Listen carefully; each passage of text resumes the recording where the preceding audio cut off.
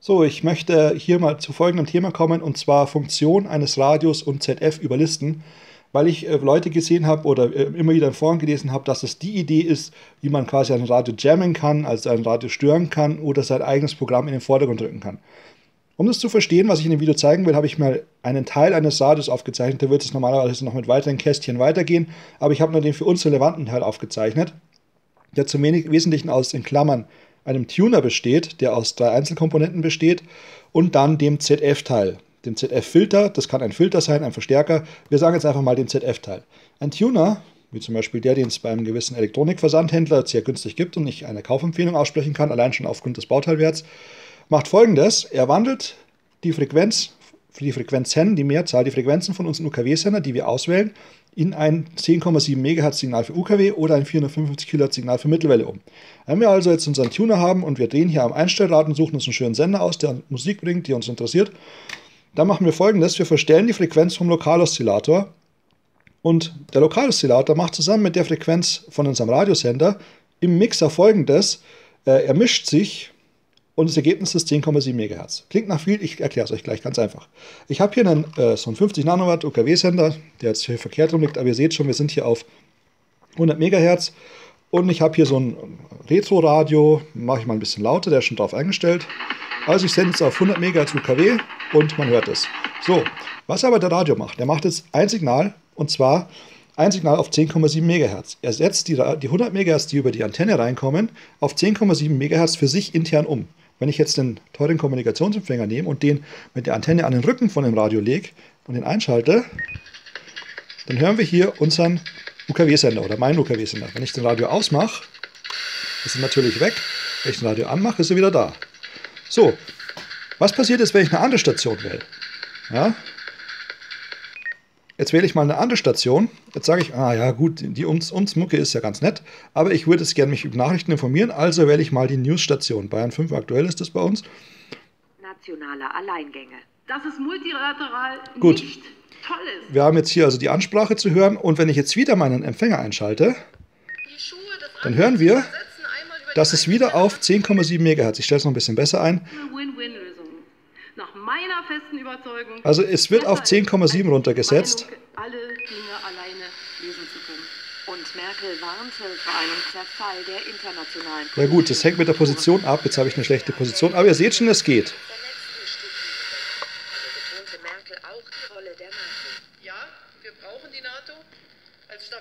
Machen wir den mal kurz hier aus.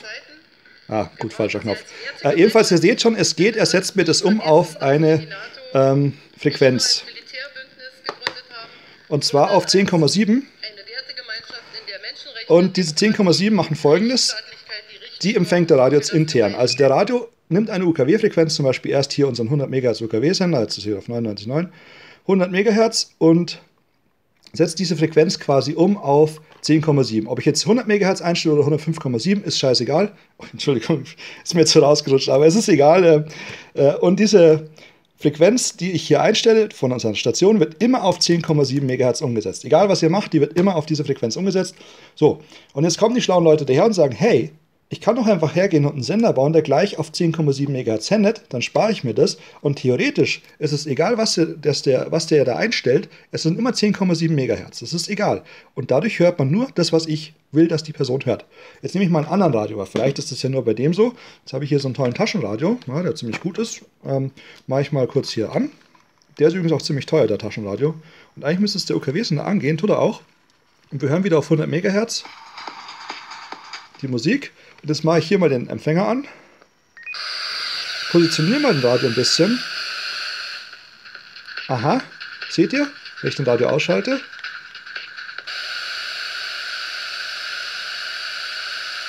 Da kommen die an.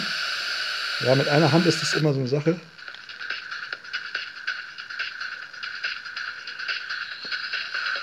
Also seht schon, der Radio setzt auch, wie der andere Radio, das Signal auf diese 10,7 MHz um.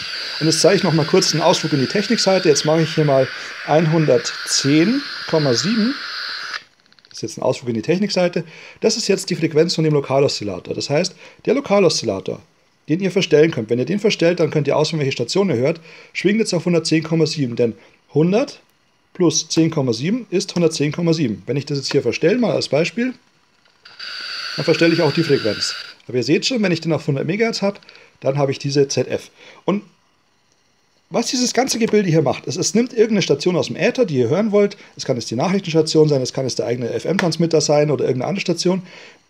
Der Mixer mischt mit dem Signal vom LO, das ihr hier seht, und dem Signal von der Antenne immer runter auf 10,7. Also senden wir mal auf 10,7 und schauen, was passiert. Mache ich gleich, erwähne aber davor noch kurz ein paar Sachen. Nämlich, heutige Radios, moderne Radios, die ihr heute im Autoradio habt oder in eurem Smartphone, nutzen einen sogenannten DSP-Prozessor, digitaler Signalprozessor. Und das sind auch Radios, die sehr aufwendig und komplex sind und nicht mehr nach diesem Prinzip funktionieren. Vielleicht haben sie auch sowas wie eine ZF, da kenne ich mich nicht genau aus. Ich kann euch nur sicher sagen, dass die nicht auf 10,7 MHz da sendet, das interessiert die gar nicht. Da wird gar nichts passieren, da wird es keine Störungen geben, da wird es keine Überlagerung geben, sondern es interessiert die nicht. Dann gibt es noch eine andere Kategorie und das sind diese billigen Radios. Die billigen Radios hier, hier haben wir jetzt wieder die Nachrichtenstation, nutzen einen Chip, der dem TDA 7000, den vielleicht manche kennen, ähnlich ist. Der TDA 7000 ist so ein äh, Deal-Chip oder auch als SMD-Version verfügbar, mit dem man einen einfachen Radio aufbauen kann, der alles mitbringt. Allerdings hat er eine andere ZF. Und das zeige ich euch jetzt mal ganz einfach. Ich stelle jetzt meinen Empfänger hier wieder auf 10,7. Schauen wir mal, 10,7. So, dann lege ich den Radio hier hin und gehe mal hier nichts. Gar nichts. Wenn ich jetzt den LO checken würde, den Lokaloszillator, dann würde ich auch feststellen, dass der keinen, also keinen nachweisbaren Lokaloszillator hat. Denn dieser Chip nutzt eine sehr niedrige ZF. Der nutzt hier nicht 10.700 Kilohertz oder 10,7 Megahertz, sondern er nutzt, ich glaube, es waren 70 oder 80 Kilohertz, also 0,08 Megahertz. Und er könnte natürlich nicht stören, wenn ihr auf 10,7 sendet. Jetzt habe ich hier noch drunter geschrieben, AM 455 Kilohertz. Das ist halt so, wenn ihr Mittelwelle hört wenn ihr jetzt hier einen Weltempfänger habt, ja, einen tollen Weltempfänger, und ihr schaltet hier unten auf MW, LW oder KW, auf einen dieser Bereiche, dann wird der Radio das intern für sich immer auf 455 Kilohertz umwandeln. Dafür gibt es ja auch, das zeige ich euch später nochmal, diese schönen Filterchen hier. So, ähm, der Radio ist also, kommt jetzt der Transistor her? Der Radio ist also genauso aufgebaut. Ähm, für Mittelwelle, er hat auch den Lokaloszillator, er hat den Eingangsverstärker und er hat den Mixer oder Mischer und dann kommen aber nicht 10,7 MHz raus, sondern bei Mittelwelle, Langwelle, Kurzwelle kommen 455 kHz raus. Das heißt, wenn wir auf 455 kHz unser eigenes Signal senden, müssten wir doch auch alle anderen Stationen überlagern und nur das, was wir hören wollen, unser Programm oder was auch immer wir da reinmachen wollen, wir können auch jemanden ärgern und einen Pfeifton reinmachen, das auch, wie auch immer, das, was wir auf 455 kHz empfangen, wird unser Radio hören, egal was wir einstellen. Dazu muss ich auch sagen, dass diese Radios schon wieder eine Ausnahme sind, denn sie haben ja den TDA 7000 oder was Vergleichbares drin aber sie haben auf Mittelwelle auch keinen wirklichen Superhead. Das nennt man nämlich Superhead hier, Überlagerungsempfänger. Die haben auf Mittelwelle einen sogenannten äh, Geradeausempfänger. Chips dafür sind der MK484, der ZN414 oder der T, äh, TA7642 war es, glaube ich. TA7642 ist, glaube ich, der aktuellste Chip. Der Nachfolger vom ZN414, der TA7642. Und mit diesem Chip kann man diese Tricks nicht machen, denn er hat keine 455 kHz ZF. Wahrscheinlich, wenn ihr einen starken Sender habt, werdet ihr den da hören, weil dieser Empfänger einfach alles Mögliche, was super stark ist, quasi empfängt und einfach wiedergibt. Und dann könnt ihr über das ganze Band gehen und werdet überall das hören. Äh, aber aufgrund dieses Tricks wird es nicht funktionieren. Es geht mit dem Radio, der hat 455 Kilohertz. Es geht mit dem, dem und dem CD-Player-Radio. Aber es wird nicht mit so einem Radio gehen und wahrscheinlich auch nicht mit einem DSP-Radio. Gut, dann führe ich euch das einfach mal vor. Ich habe einen Sender gebaut für 10,7 MHz. Was passiert, wenn ich auf 10,7 MHz sende? Bis gleich. So, jetzt habe ich. Hier läuft der Walkman. Und hier ist der Sender. Hier ist der Sender und der Radio. Und jetzt habe ich folgendes aufgebaut. Ich habe einen 10,7 MHz Sender und einen 455 kHz Sender. Und hier läuft der Walkman. Entschuldigung für die Schnitte, das ist wieder meine Krankheit, meine Gedanken. Ich muss es leider so oft machen, bis es passt.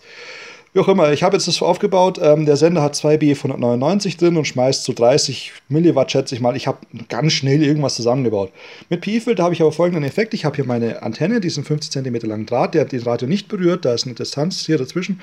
Äh, und der macht aber um sich herum ein sehr starkes E-Feld. Ja? Also er macht hier ein starkes E-Feld, das brauchen wir, um eben in diesen Radio reinzusenden. Das ist jetzt vergleichbar. Was ich hier simulieren will, ist, hier jemand eine 5, 6 Watt starke Sendeschaltung hat, eine große, super angepasste Antenne und wir sind im Nahbereich, das heißt im selben Haus. Denn euch muss eins klar sein, wenn ihr diese Radios überlagern wollt und da reinsenden wollt, braucht ihr enorm viel Sendeleistung. Selbst wenn ihr 100 Watt Sendeleistung habt, dann wird dir wahrscheinlich nach 100 oder 200 Metern den Radio wahrscheinlich schon nicht mehr gescheit stören können, wenn ihr möchtet. Aber das führe ich euch jetzt vor. Gut, also ich habe jetzt mein Radio, schalte mal ein. Wir haben wieder als Newsstation. Dann schalte ich mal den 10,7 MHz Sender ein. Kaum ist mein Sender an, ist der Sender weg, der andere. Ist überlagert. Jetzt versuche ich mal einen anderen Sender einzustellen. Es ist egal, was ich einstelle.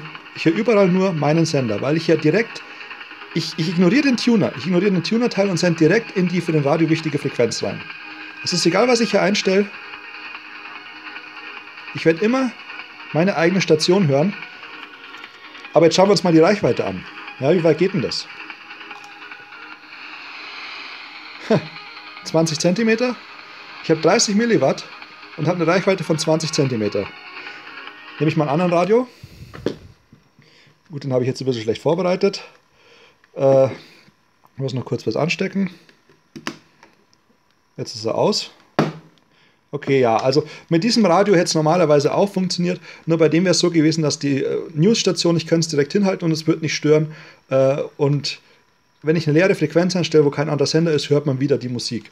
Ich habe nämlich das Video schon ungefähr sieben Mal oder so gemacht. Gut, ähm, hier ist jetzt der Radio, der sich nicht manipulieren lässt. Neuwahlen. Auch heute sind Zehntausende in der Hauptstadt Tirana auf die Straße gegangen.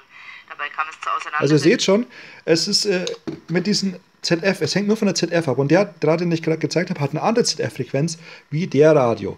Oder eben der Walkman, ich habe es mit dem auch getestet, das geht, äh, oder der Radio.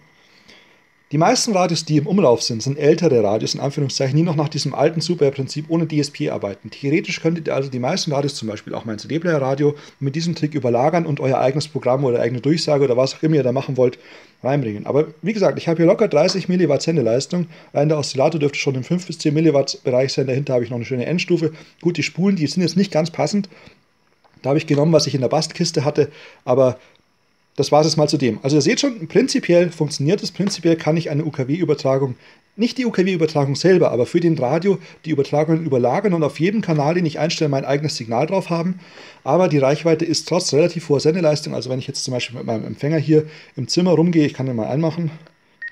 Ihr seht schon, 10,7 haben wir unser Signal und ich, ich kann im Zimmer rumgehen und ich habe ein sehr starkes Signal überall. Also ich habe einen sehr hohen Pegel auf 10,7 und trotzdem kann ich es nur über kurze Distanz überlagern. Wie schaut es jetzt mit 455 kHz, also Mittelwelle, Kurzwelle, Langwelle aus? Komme ich gleich dazu, ich muss es nur kurz anstecken und ich pausiere das Video dabei wieder. So, jetzt habe ich das Ganze aufgebaut und jetzt stecke ich mal den 455 kHz Sender an. Ich habe hier meinen Empfänger schon auf 455 eingestellt. Hören wir mal kurz rein. Ich muss nur gucken, welcher Pin es ist. Minus. So, also ihr seht schon, 455 Kilohertz, die ZF. Mache ich mal den Empfänger aus. Und jetzt habe ich hier den starken Kurzwellensender eingestellt. Ich glaube, es ist türkisch, ich weiß es nicht, irgendwo bei 15 Megahertz. Ceza sahasından kullanmaya kalktı. Maçın hakemi de ceza sahasının dışından dedi. So, Jetzt mache ich mal den Sender an von mir.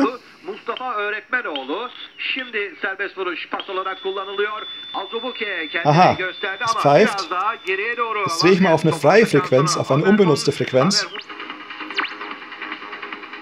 Also seht auch hier, egal was ich einstelle, mein Sender kommt immer durch. Aber sobald ein starker externer Sender kommt, sobald ein e- externer Sender kommt, dann geht der nicht mehr her, der andere. So, jetzt schauen wir, wie weit das geht. Ja, so ungefähr 30 cm. Und ich denke, ich habe hier so 50 bis 100 Milliwatt Ausgangsleistung. Das ist nur ganz schnell zusammengeschustert. Und hier ist übrigens so ein 455 Kilohertz Filter. Also der Filter hat einen Eingang, 455 Kilohertz lässt er durch und andere Frequenzen sperrt er. Da gibt es noch eine sogenannte Filterbandbreite, aber das wäre jetzt zu ausführlich. Ihr seht schon, es geht. Ich kann jetzt mal hier auf Langwelle schalten. Von den Störungen abgesehen. Hört ihr es durch? Oder hier Kurzwelle.